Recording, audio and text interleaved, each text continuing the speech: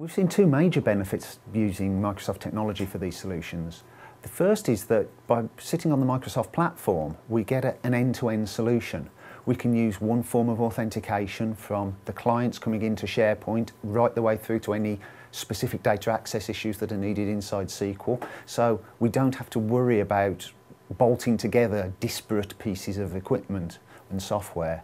Uh, this can be particularly seen with the call tracking system in that we have an in-house bespoke call tracking system hosted in SharePoint, but it has the ability to log calls into Team Foundation server for actual work item tracking inside our development process.